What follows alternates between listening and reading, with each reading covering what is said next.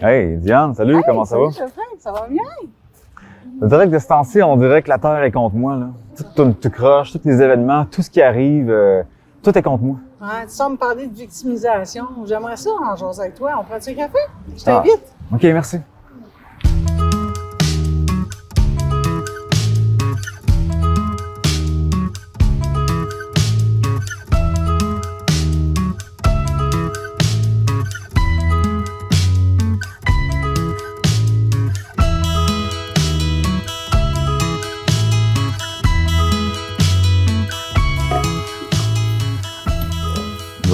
Dis-moi donc ça, là, ce que tu me parlais dehors, là, de mot victimisation, ça veut dire quoi cette histoire-là? Ben, c'est parce que les mots que tu as utilisés, j'ai pu déceler que tu utilises des termes que les victimes utilisent.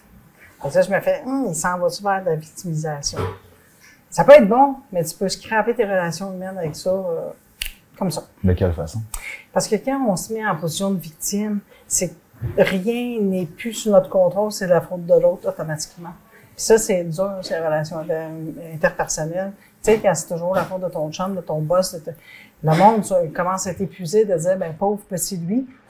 Mais il y a un petit côté, on est souvent, ça peut, on, on a le droit d'être victime, ça arrive qu'on est victime. Puis on parle pas de victime d'agression sexuelle ou d'offense grave, parce que c'est normal de sentir, j'ai été offensé, je me sens pas bien, je suis victime, j'ai de la souffrance, je veux le dire, je veux être ça, good. Mais souvent, la victimisation, ben, on le prend, on l'applique à toutes les choses dans notre société, dans notre vie. C'est là que ça devient bien fatigant de avec quelqu'un qui se positionne toujours en victime. C'est comme une game de cartes. On part, on joue aux cartes, moi puis toi. Là, tu prends la victime, tu me pitches agresseur. Merde. Pourquoi tu as choisi victime? Je tombe ton agresseur? J'ai plus d'autres options? Tu as pris la décision d'être victime. Fait que tout notre rapport va être basé sur cette fameuse game de cartes. T'es victime. Ben, on est mal parti en maudit, là. Je Ça, m'en ça, sors pas. ça découle des archétypes, ça. Le bourreau, la victime, le sauveur, puis euh, Ouais. je pense qu'il y a la, prostituée, quelque chose comme ça. C'est quatre font, un peu des tempéraments ou des comportements ou des identités de, de genre psychique source.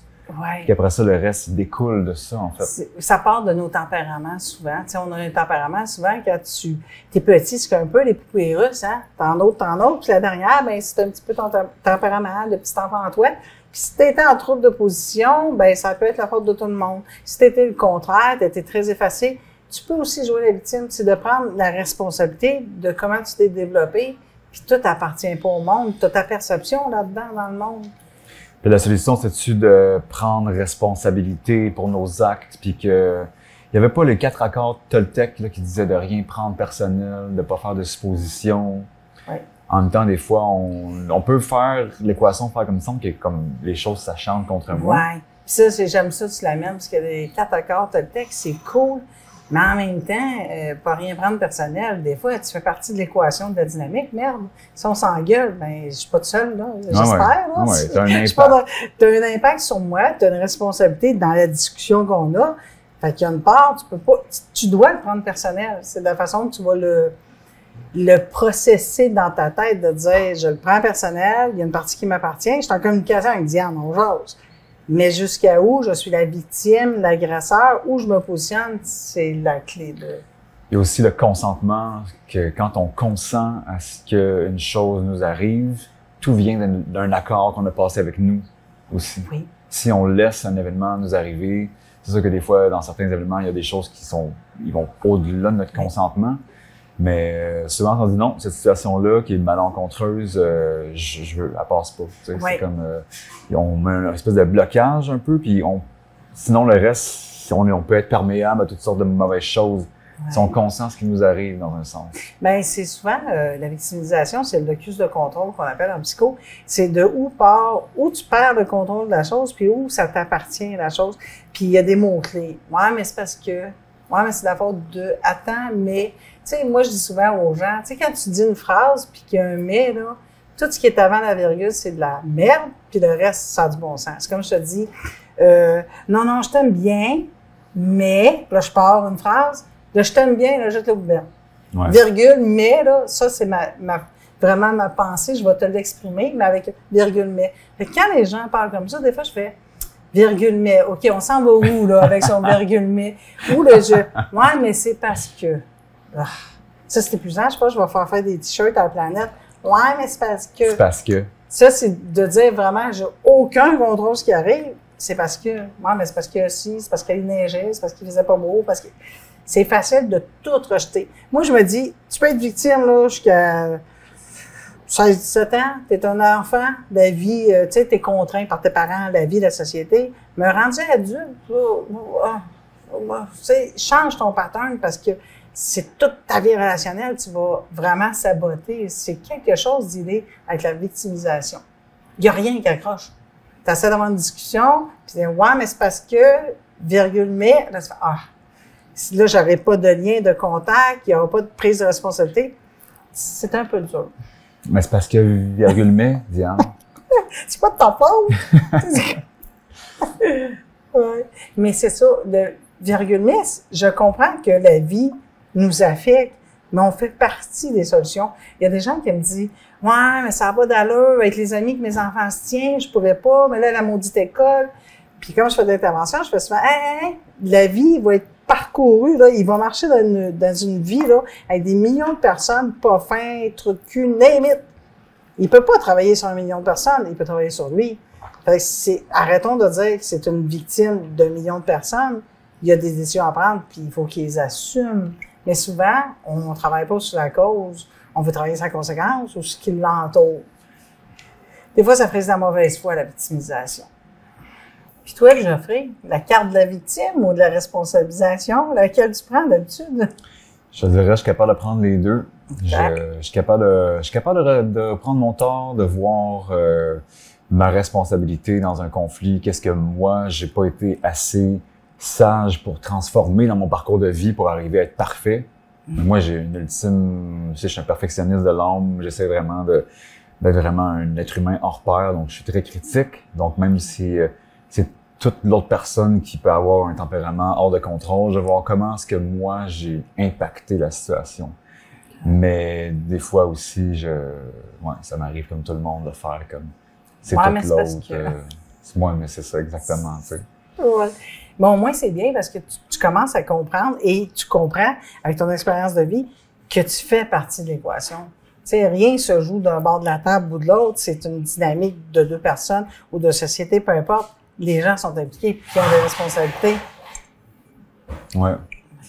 Mais tu sais, je trouve que souvent de d'enseigner ça, la, la, complexité de la personne, des relations humaines, puis tout, tu sais, là, on parle aussi de la communication non violente, euh, c'est de, de, reconnaître dans des, dans des situations relationnelles comment bien interagir avec les autres, comment se dire les vraies choses, comment... Et ça, on nous apprend pas ça. Non. Et l'instinct de survie est fort, hein? on veut protéger notre ego. Fait que dans le fond, être victime, c'est de dire, hey, j'ai une souffrance, je veux être entendu, puis c'est, il y a quelque chose d'injuste qui m'est arrivé, c'est de projeter ses autres, la responsabilité.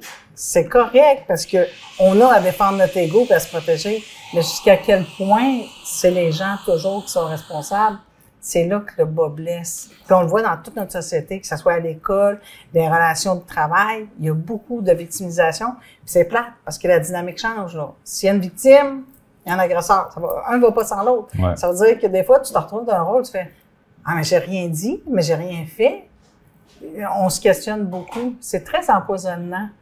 C'est vraiment des, des problématiques. on, on minimise c'est quoi ce comportement-là, mais il devient vraiment euh, accaparant de nos relations. j'imagine que ça peut encore là, starter de l'enfance, ce genre de tempérament-là. C'est comme des toutes des interactions qu'on a eues, il y a comme un amalgame de différentes circonstances que notre euh, esprit, notre subconscient a enregistré, c'est comme ça qu'on se positionne toujours en victime qu'est-ce qui arrive, que l'univers est contre nous. Puis mais même si l'univers marchait pour nous, j'imagine qu'on trouverait encore quelque chose à, que pas correct. Ben oui, parce qu'on a développé nos traits de personnalité. Quand on développe nos personnalités, nos traits de personnalité, c'est toutes euh, les couches. C'est comme si tu avais un bas de sac, puis à chaque fois que tu as une expérience, tu le mets dedans. Mais tu as des biens cognitifs qui disent ça je le prends, ça je l'oublie, ça je le prends, ça je le ramasse pas. Fait que tu ramasses ce que tu veux. Fait que si tu as été victime une fois, puis tu as été dans la souffrance, et que tu as eu comme réponse beaucoup, beaucoup d'attention, puis tu as été prise en charge, c'est super le fun. Je voudrais encore être prise en charge des fois, tu sais. Pensez pour moi, ça va me faire du bien. Mais c'est ça. Si l'enfant part de même, ben adulte, les problématiques, s'il reporte ailleurs, c'est soulageant, des fois, de pas être responsable, là. Tu sais, c'est pour ça les pensées magiques. Ah, je l'envoie dans l'univers. Moi, je suis pas capable d'entendre ça. Je me dis, maudit, quelle déresponsabilisation. Tu sais, hey, l'envoie dans l'univers. T'as une part à faire dans ta vie, là. Ouais. Mais souvent, mais c'est un fardeau qu'on, si on peut se déresponsabiliser de trucs, mais on avance moins bien là-dedans parce qu'on est dans pensée magique, dans philosophie un petit peu euh, spirituelle. Fait que là, t'es toujours à attendre que la vie, le destin, t'envoie la bouée de sauvetage. Et crème, ça peut être là. Mais en même temps, quand la société fonctionne comme ça aussi, Oui. que on, ben, tu sais, on va avoir tout qui est pris en charge pour nous, des services externes. Donc, on, on délègue beaucoup de, de notre confort ailleurs, puis euh, au lieu de faire en sorte que on est quand même un, cit- un citoyen investi, impliqué à part entière, puis que, bon, oui, on va ramasser nos poubelles, faire, faire en sorte que comme les rues soient déneigées ou whatever, mais psychiquement, juste de sentir que, hey, je suis aussi, j'ai une part à jouer, j'ai un rôle à jouer. Je suis responsable de moi-même dans cette communauté-là, puis je suis responsable aussi du bien-être d'autrui. Encore là, on n'a pas cette... euh, Ça résonne plus bien bien dans nos sociétés. On est rendu des sociétés plus civiques. Sais, à cet âge, j'appartiens plus à un groupe, à une société. J'appartiens à mon adresse civique de ma rue. Puis ça, c'est chez nous. Puis le voisin, ben, gère tes enfants, tes couches, tes poubelles. euh, moi, j'ai mon monde. Puis ça s'arrête vraiment là. Qu'on est vraiment individualiste. C'est dur d'avoir cette pensée-là collective de dire, hey, j'ai un impact sur le voisin, je suis responsable de son bien-être. Ouch, là, on va loin, là. Je pense pas que les voisins se sentent responsables de leurs voisins. C'est triste parce que on est liés. Ce que je fais chez nous va avoir un impact sur le voisin. La façon que je gère ma vie va avoir un impact. Mais on s'en fout, on s'en déresponsabilise, puis c'est la faute des autres. ouais. C'est tellement facile.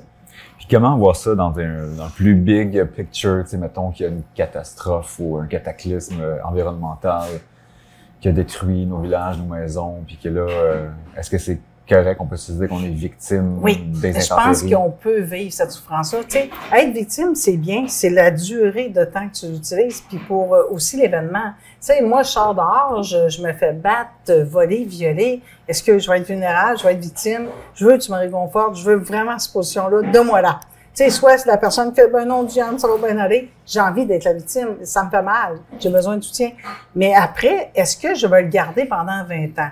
Je, je, je- pense que j'irai en thérapie, puis j'essaierai de dire, je peux-tu échanger ma carte de victime contre euh, survivor, euh, résiliente, tu sais, je- peux-tu faire un échange de ce maudit carte-là? Parce que Ouais. si je traîne la victimisation avec moi, je vais toujours être la victime du, excusez, du trou de cul qui a posé le geste envers moi. C'est moche. Je vais toujours porter ce stigma, cette empreinte-là. Je me dis, un jour, il faut que je laisse la carte sur la table, puis je dis, OK, je suis résiliente, je suis combattante, je suis survivante. Allez me chercher une autre définition, parce que la victimisation, c'est dur. Puis c'est comprendre, il faut ta vivre. Quand il y a un drame, une offense grave, vis-la. Soit 10 ans, 20 ans, c'est correct? Mais à un moment donné, elle va peser dans ta balance. Ça va être lourd. Si tu veux atteindre un équilibre, elle dit peut-être que c'est temps de changer de carte. Tu sais, je veux plus être victime, je veux être résidente, je veux être fort, je veux avoir quelqu'un qui a surmonté quelque chose. Parce que tant que t'es victime, tu identifies un agresseur, puis lui, tu le veux plus dans ta tête, là. Tu sais, on passe à d'autres choses. Je trouve quand même qu'on a, il y a beaucoup de, de récits euh, de résilience justement qu'on voit à travers des films, des athlètes, euh, pour les Jeux Olympiques pour handicapés qui ont surmonté des handicaps graves, qui ont par, par le sport, qui ont réussi à transcender euh, des, des malaises, autant les personnes qui avaient des, des euh, mettons une obésité morbide, qui ont réussi à par le pouvoir de l'intention, le pouvoir, mettons, de se dire, OK, on, on est capable. Je fais partie de la solution. Ouais, ça, je trouve Ouais. ça bien qu'on renforcisse ça quand même, qu'on Ouais. euh, promouvoit le, le, le c'est possible. C'est possible. Puis Ouais. tu es responsable d'une partie. Tu sais, on peut toujours attendre. euh, En intervention sociale, on dit souvent que les relations toxiques, les gens font Ouais, mais je tombe toujours sur le mauvais gars, le même gars. Mais il y a une part de responsabilité de la personne de changer son pattern, sa perception de vie. C'est pareil pour l'obésité, la perte de poids, tu sais. Des fois, je me dis, ah, merde. Puis Là, je, je peux être victime de dire, ah, je vieillis, je suis ménopausée. Puis Là, je fais, Diane, tu te mens, mais je me mets à côté. J'ai, je pourrais physiquement perdre du poids. C'est Ouais. juste que, je- mais aussi, il faut rester large. Il y en a que c'est pas possible. Physiquement, c'est pas possible. C'est le métabolisme, la glande thyroïde, peu importe. Mais dans mon cas, je me mets un petit peu, là. Puis je me conforte en disant, ben là, il faut pas être grossophobe, fait que euh, je suis correct de même. C'est un dilemme avec soi-même de se questionner, est-ce que je me positionne en victime parce que ça, ça me protège? Ou je me positionne en victime parce que j'ai pas envie de bouger? Puis des fois, on plie la société parce qu'on n'a pas envie de bouger. Je force les gens à accepter une condition parce qu'en étant victime, qui est toujours une victime? C'était mal vu, hein? Je suis Ouais. victime. Fais-moi pas ça. Mais tout est possible, ou presque, dans le fond. Oui. Avec la volonté, Oui. c'est- la clé un peu pour se sortir Ouais. de la victimisation. La volonté, la perception aussi qu'on a de l'événement, tu sais. Euh, moi, je dis toujours, vous pouvez sortir plein d'enfants d'un feu en hurlant, en criant, vous allez causer le traumatisme de leur vie. Ou vous pouvez dire, gang, on se met en petite queue, en petite rangée, puis on sort hein, tranquillement. Tranquillement, on va ah, c'est pas grave, c'est juste des biens matériels. Puis on sort, puis on se dit, ben, on a bien fait ça, on va-tu au resto, puis oui, il y a eu un feu, il y a eu un drame, mais il y a personne qui a été traumatisé, tu sais. Au fer rouge, je pense que tout est dans la perception de l'événement, de dire, oui, l'événement est grave, je peux-tu m'en décoller un peu? La réaction qu'on a par rapport à l'événement. Ouais. Oui, mais c'est sûr que, moi, je, je pense toujours aux victimes de viol, aux victimes de, de violence physique. Je me dis, non, non, c'est sûr qu'ils peuvent pas dire, bon, OK, on me fesse, je vais attendre, ça va passer. C'est sûr que c'est grave. Mais après 5, 6 ans, 10 ans, de dire, cette carte-là de victime, là, je la garde-tu ou je m'en débarrasse? Ouais. Moi, je dis toujours aux gens, allez consulter un psychologue, allez voir, parce que il y a façon de renaître de ça, de dire, hey, je vais être une résiliente, une euh, fighteuse, go, change de carte. Ouais. Ça prend, ça prend une force d'être qui est pas donnée à tous. Certaines Oui. personnes ont peut-être, ont, ont jamais cette, cette capacité-là de transcender le- les traumas. C'est correct aussi. Oui, c'est correct, oui. Des fois, c'est des circonstances qui font en sorte que je, je suis pas capable. Oui, c'est pas je, le je- bon je vais demander à ce que dans cette vie-ci, on, on me supporte peut-être jusqu'à la fin. Oui. Puis euh, c'est peut-être c'est juste l'équation, l'équation des êtres humains que des fois il y a, ils ont, il y en a qui vont jamais être échappés de ça, tu sais. Ouais. Euh, Il y a une fragilité. Tu sais, on est toutes des poupées, hein, mais il y en a qui sont en porcelaine, puis il y en a d'autres qui sont en rubber. Ils rebondissent, tu fous ça à terre, pas de trouble, la poupée est intacte, tandis que l'autre, elle était tellement belle, elle en porcelaine, elle a brisé, puis t'as beau la coller, il reste une cicatrice. Fait qu'il faut accepter tout le monde, mais de dire que si vous travaillez sur la victimisation, peu importe le trauma, il y a un cheminement à faire de dire, je veux changer la carte qu'on m'a donnée. On m'a donné cette carte-là de force les mains, puis ça me tente pas. Ça, c'est même dans des discussions avec du monde. Des fois, tu peux t'asseoir une table, là, puis là, ça part. Puis là, tu prends les mots, mais ouais, mais c'est parce que, mais ouais, mais, oh, là, tu le sais, là, ça part. Il est pas responsable de tout ce qui arrive. Fait on pourrait déjà dire, ah, ah, je la prends pas ta carte, moi. Puis toi, Geoffrey, à quel niveau tu victimises, que tu utilises ta carte, ton joker de victime? Moi, je pense que c'est comme genre, j'ai tellement fait d'efforts dans ma vie. Puis ben, financièrement, mettons, ça a toujours été difficile, alors que j'ai tellement voulu avoir un, un, bon cœur, être un, bon être humain. Puis des fois, je vois des sans-dessins qui performent socialement, puis financièrement. Puis je suis comme, Christy, je me suis dévoué le plus que je peux à la cause humaine. Puis euh, ça rapporte pas cette histoire-là. Là. Il me semble que je me suis... euh, Ouais. je, je, je me suis investi ouais, pour euh, faire le bien sur Terre, à mon image, à ma façon. Ouais. Puis, euh, c'est ça encore Mais de- t'envoies une injustice. Ouais, Fait que ça te positionne un petit peu dans la victimisation de dire c'est injuste. Ça Ouais. aussi, c'est un mot qu'on utilise quand on s'en victime. C'est injuste. C'est comme je, je compte des forces plus fortes que moi, puis ça marche pas. Ouais. Mais je sais, je sais comment transformer ça quand on parle de responsabilisation. Quand on parlait d'accord tantôt, Ouais. voulu ça. Parce qu'avant de partir en voyage, quand j'étais jeune, je me suis dit, envoyez-moi un destin hors du commun qui me fait expérimenter tout ce qui est possible dans la vie. Puis je pense que d'expérimenter la précarité, la pauvreté, euh, la dépression, le, le- le manque de repères, ben je peux en témoigner. Je peux, après ça, une personne qui se sent comme ça, je peux dire, hey, je te comprends, je, je l'ai vécu aussi, tu sais. Fait que je pense que euh, j'ai voulu passer à travers toutes ces, ces strates-là. Fait que encore là, c'est moi qui me l'ai... euh, Imposé. Me l'ai imposé, ouais. Fait que tu peux pas être victime Non. de ce qui est arrivé, dans le fond. Puis t'es sorti avec la carte de la résilience. Ouais. T'as dit, moi, je vais aller me chercher des atouts de senti, de façon cognitivement de gérer ces situations-là qui seraient traumatisantes pour tout le monde. Là. Moi, coucher dans la rue trois soirs, euh, oublie ça, je perds mes repères. Là. Ouais.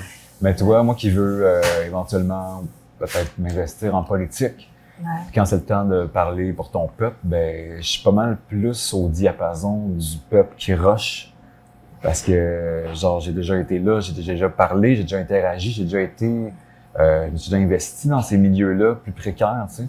Donc, euh, quand c'est le temps de prendre des décisions politiques, ben, tu sais, je pourrais euh, savoir un peu mieux. goûté à la sauce. Oui, exact. T'as dit, gars, j'ai fait partie de la sauce. J'étais dedans, là. Fait que ça, c'est. Je pense que dans mon côté hum- hum- humain, mais j'ai voulu ça, tu. J'ai voulu pouvoir euh, vibrer avec les personnes qui ont plus de difficultés. tu. Ouais. Fait que la carte de victime, ça te convient pas vraiment, toi. T'es plus un, un justicier. Pour Ouais. les- ouais, j'ai plus l'impression que t'es la voix qui veut défendre. Oui. Mais je, mon petit côté aussi, injustice, là, je pense que c'est dans le temps que ça rapporte, là, tous ces efforts que j'ai faits là. Mais encore là, il y a quelque chose dans le temps, c'est comme de savoir attendre, mais d'attendre combien de temps aussi, tu sais. Ça rapporte quoi aussi? C'est tout le questionnement? Ouais. Tu sais, le rapport à l'ego, c'est de la reconnaissance, c'est de l'argent monétaire, c'est une situation. Puis si tu ferais un recul, comme je te connais, tu intellectualises beaucoup, c'est quoi tu voudrais que ça rapporte? Je me questionne, hein? Tu sais, ça serait quoi? En argent sonnant, trébuchante, là? Ou tu voudrais euh, un statut? C'est pas évident, hein, de se positionner. Qu'est-ce qu'on veut? Qu'est-ce qu'on veut vraiment, puis de vraiment le, le- le pouvoir le verbaliser, puis que ce soit ressenti, tu sais? Ouais. Parce que moi, si, si je dis, c'est qu'est-ce que tu veux vraiment dans le fond si tu serais riche? Je pourrais te nommer un paquet de rêves que j'ai, Ouais. mais euh, est-ce que est-ce que il y a comme il y a toute une force intentionnelle en arrière pour y arriver à ces rêves-là? Peut-être pas, tu sais.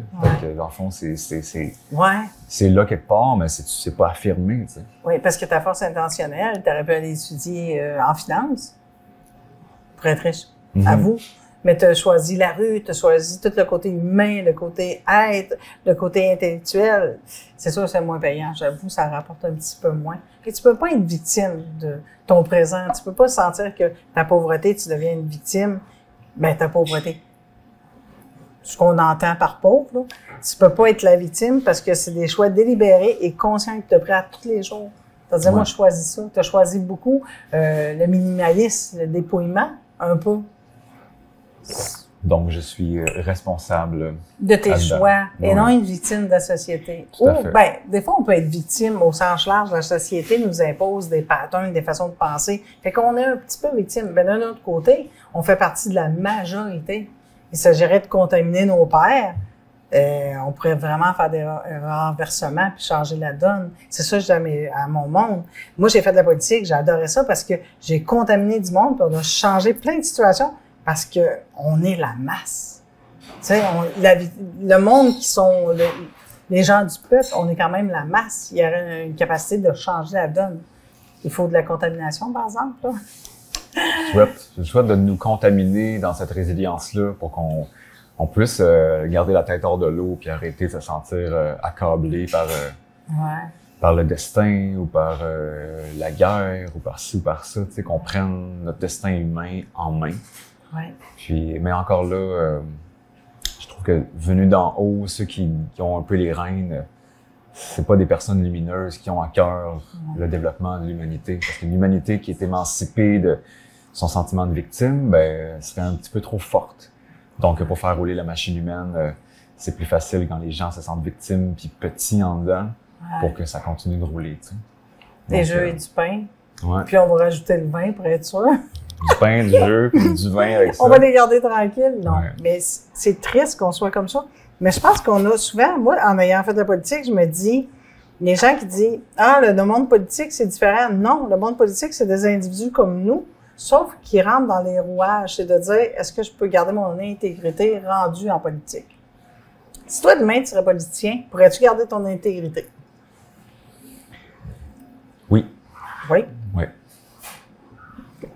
Puis pourrais-tu contaminer les gens? Parce qu'il faut con- contaminer, c'est ça la politique, c'est vraiment de dire, je vais aller parler à tous ceux qui se sentent victimes, je vais leur donner une autre carte qui est combattant, je vais changer la donne. C'est tout un processus mental de dire, c'est ma perception qui me met soit en victime, soit en combattant.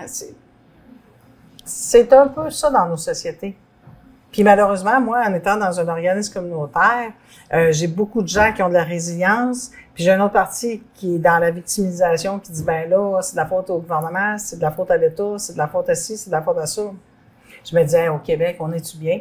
On, est, on a un État euh, providence qui prend soin de nous, on a un système de santé merveilleux, on a des filets sociaux, c'est pas les plus merveilleux au monde, mais quand même, on est quand même bien. Toi qui as voyagé, tu as dû connaître des pays où la pauvreté, ça n'a pas rapport au Québec. Non, non, ça n'a rien à voir. Le, le filet social, il est fort ici. Je ne connais pas en comparaison d'ailleurs, mais on peut se sentir choyé d'avoir quand même que t'es dans le marde, t'es Ouais. pas, pas tout seul, tu sais. Oui, pas tout ouais. seul. tu peux être pauvre puis écouter Netflix, puis aller manger au McDo. Ouais. Mais je me dis, c'est pas si pire parce que on a, moi, en voyageant un peu, j'ai vu des pauvres qui étaient pas pauvres, pauvres, là. Il n'y a pas de Netflix, il n'y a pas de maison, oublie ça, là. Il n'y a pas de souliers, là. Il y a rien. Et, ouais, toi aussi, Ouais. tu sais, en étant dans la rue, tu as dû voir. Fait que je me dis, hum, la victimisation, des fois, euh, c'est toujours notre perception. Fait que c'est à nous de changer. Hey, t'es responsable un peu. C'est quoi tu veux pour ne plus être victime? Jusqu'à où tu es prête à t'investir? Mhm. Ouais. Fait qu'en résumé, tout ça, Diane, c'est, c'est, c'est quoi qu'il faut qu'on retienne de la victimisation? Finalement, comment sortir de ça? Ben, on est responsable individuellement dans le changement. C'est nous qui sommes responsables de notre situation, puis on est responsable collectivement aussi. Que si on veut plus être victime, faut se prendre en main, puis ça part là. Bon, ben, fait que vive la résilience. Vive la résilience.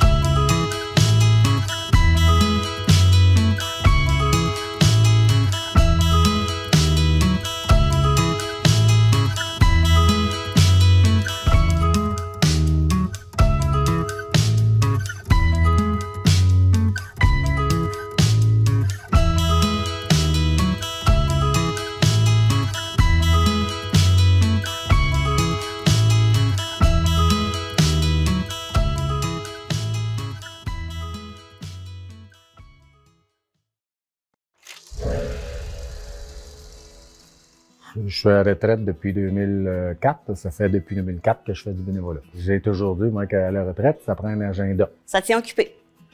On s'amuse. Moi, je pense qu'ici, que j'aime le bénévolat ici parce que c'est un esprit familial qui nous met tout à l'aise. J'en parle au monde, puis tu sais, c'est une activité de rassemblement aussi, puis c'est gratuit. J'aime beaucoup le contact avec les personnes et puis euh, j'aime parler, j'aime m'exprimer. C'est un enrichissement pour moi. Puis les gens pour qui tu travailles aussi, eux autres, ils- ça leur permet aussi d'oublier et de vivre un moment présent extraordinaire pour eux. Et en même temps, c'est une façon de redonner à, à la communauté. Du bénévolat à TV communautaire, que c'est vraiment une belle place pour apprendre. Tu te stresses pas, puis c'est une belle ambiance d'apprentissage. Impliquez-vous. C'est euh, tellement revalorisant.